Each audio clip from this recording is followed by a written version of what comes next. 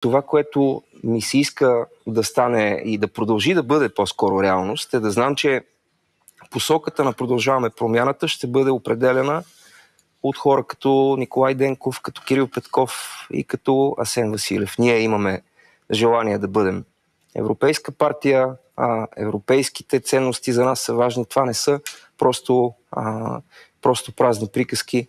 Европа, да бъдеш европеец, ако се върна преди малко на това, което казахте за евроатлантизма, а, представете си, че сте в централния затвор и отидете и, а, да, не ви пожелавам тази перспектива, но все пак за миг представете си, че съдбата ви го сервира и попитате, попитате обитателите на затвора, ти евроатлантик ли си?